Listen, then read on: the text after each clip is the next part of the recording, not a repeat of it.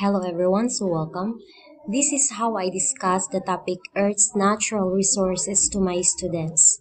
So the MELC or the most essential learning competency for this lesson is cite and explain ways of using Earth's resources sustainably.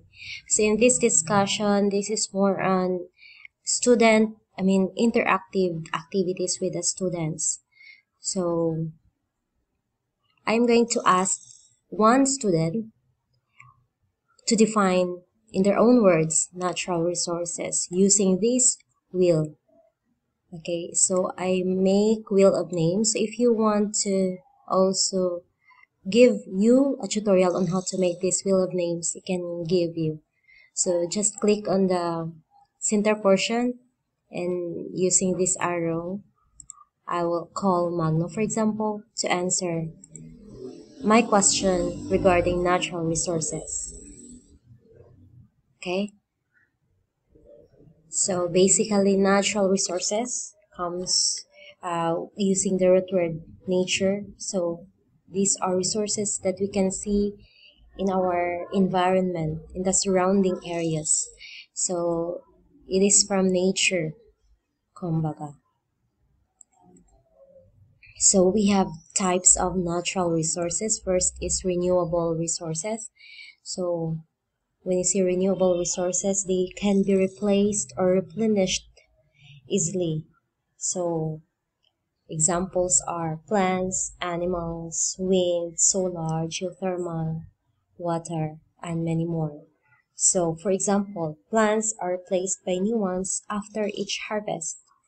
Animals have the capacity to reproduce and are replaced when young animals are born, and so on. The second type of natural resources is non-renewable resources. So when you say non-renewable resources, they cannot be replaced or replenished easily.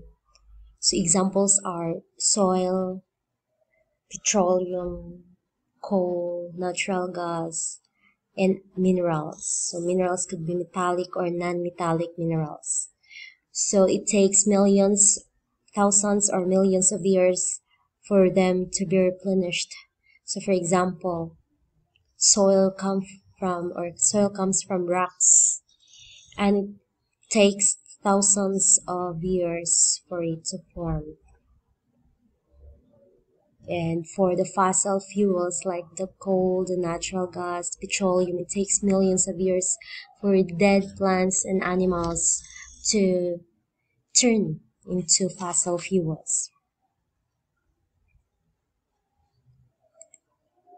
So here we have the examples of renewable resources. Okay, so for renewable resources, we made mention of this already and the non-renewable resources.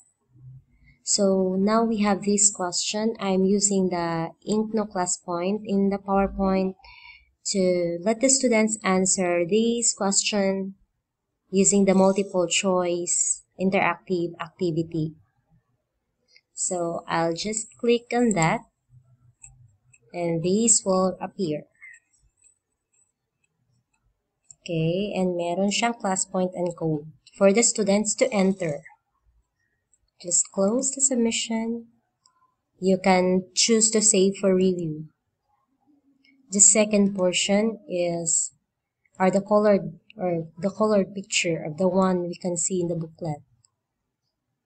So out of the natural resources at the bottom, we have the products we can get. Then using the interactive activity again, I'm going to ask the student, give one product you can get from water resources using the interactive activity short answer. Again, I'll just click on that and yes, mag-a-appear siya. Just close the submission, save for review. Alright, the next, yeah, speaking of the products we can get from water resources, so water resources can be in the form of bays, rivers, uh, lakes, falls, straits, streams, and many more. How about watershed? Are they also water resources? Yes. So during rainfall, not all the waters will flow to the river. Some are absorbed as groundwater and they will be stored in the watershed. It's like this. It's a it's all of us are standing on the watershed. So it will be used when there's no rainfall. It will just flow out to you, to our home. I mean, yeah. The ones we use at home, they came from, uh, the water comes from the watershed. So we have some common watershed. So we have Upper Agno Watershed, San Roque Watershed, Makiling Banahaw Watershed, Magat Watershed, Pantambang, Pantabangan Watershed.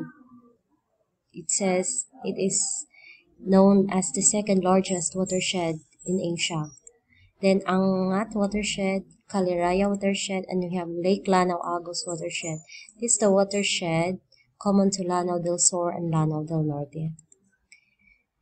Then yes, because water resources are not of unlimited supply, that means it can also run out run out of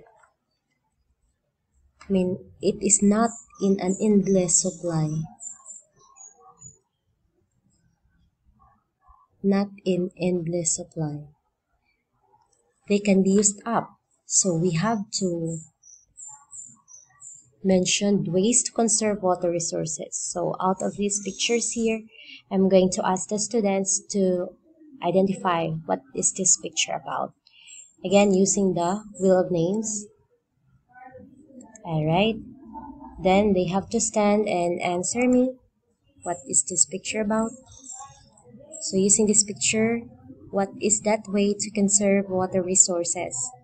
This is one of the ways to conserve water resources. What is this? And this one, and this one. The next resources is we have the soil resources. Before proceeding, I'm going to ask using the interactive activity again are soil resources renewable or non-renewable? Students have to answer. We just close this afterwards. Then yeah, soil resources are very useful for especially to us farmers. Now, some of the activities in some of our human activities activities contribute to these soil related problems. What are these activities? This one. What activity is that? This is deforestation. This is intensive farming. So this contributes to the problem of soil erosion. This will lead to the, lo the loss of soil nutrients this will lead to soil erosion. If this happens, can we still get enough food supply then? So it's not. So how, what are we going to do? So we have to conserve soil. So what are the ways to protect and conserve soil nutrients? Before proceeding, can you tell what problems are shown here? Yes. Illegal logging leads to flooding.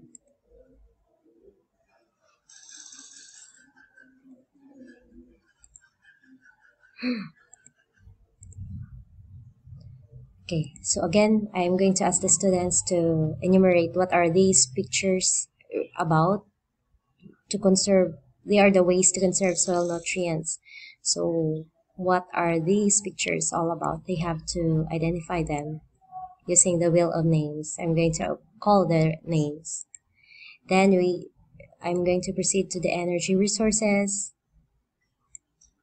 Then out of that energy resources, I'm going to show them how, how these, like for example, solar energy work at home to support us with our electricity. So this example, okay, okay. And this example here, the solar setup we have at home, I'm going to show them. And yeah, so this is the inverter, the controllers, and the batteries. So yung panel is nasa rooftop. So hindi makikita dito. So using, yeah, my controllers tayo. And Each of them has their own functions and they are very important to one, I mean to each other. They have they have to help each other for our solar setup to function. And yeah. Okay. I am trying to let the, my viewers enumerate them and using this kapag down solar yung ginagamit namin at up naman kapag uh, Cebu Electric Company yung ginagamit namin na electricity.